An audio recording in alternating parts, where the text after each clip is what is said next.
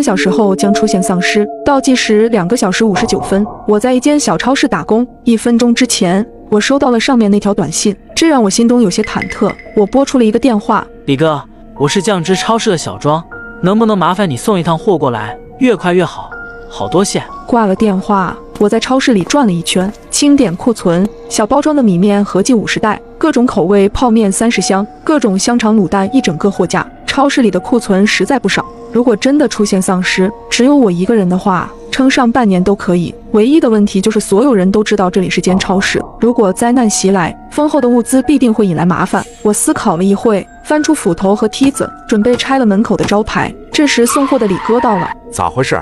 你们这超市不干了？那你还让我送货干啥？我后背一僵，不知道该怎么说。如果真的说是因为丧尸要来了，恐怕要被当成疯子。我极力合理化措辞。老板要扩建囤货加装修，超市要装修，那货卸哪儿？李哥，这些货搬到二楼仓库吧。此时放在上衣口袋的手机一直在震，不停有短信进来。倒计时两小时五十八分，倒计时两小时五十七分，过去四十多分钟，我就收到了四十多条短信。如果是恶作剧的话。哪有人如此固执？眼看李哥卸完货，我忍不住问了一句：“李哥，你相信世界末日吗？”李哥斜眼看过来：“咋了？世界要爆炸了？不是，是病毒蔓延，丧尸围城。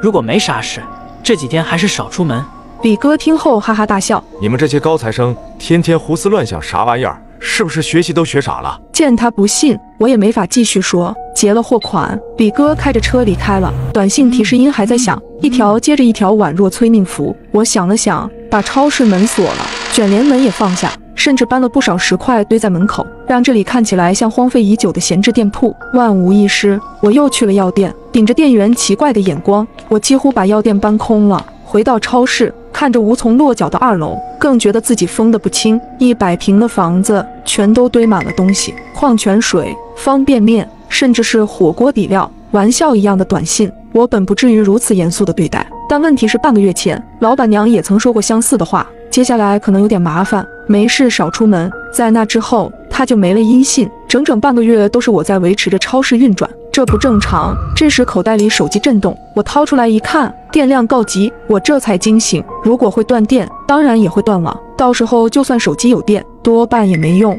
我无父无母。加上大学四年一直忙于兼职赚学费，没什么朋友，所以到这关头，倒不知道该通知谁。想了想，还有二十分钟就要丧尸爆发了。我打开电视，听着背景音归置货物，咔嗒，钟表分针指向了数字十二。窗外一道惊雷响起，一片漆黑，我心里一惊，赶紧趴在窗边打开窗户，什么都看不见，但街上的声音却很清晰。怎么突然黑天了？怎么回事？阴天了！咒骂声、刹车声、撞击声响成一片，但真正叫人揪心的，却是一声惨厉的尖叫。你咬我干什么？我手心冰凉，那个匪夷所思的念头逐渐清晰。丧尸真的来了！我背后一寒，把窗帘拉上，不敢开大灯，靠在墙边刷新闻。热搜第一名赫然挂着。突然黑天，丧尸吃人，评论区里一片惊恐。世界末日来了，这还上什么班？那些人像变成了丧尸，只要被咬了就会没命。大家都躲在屋里，别出门。再往下刷，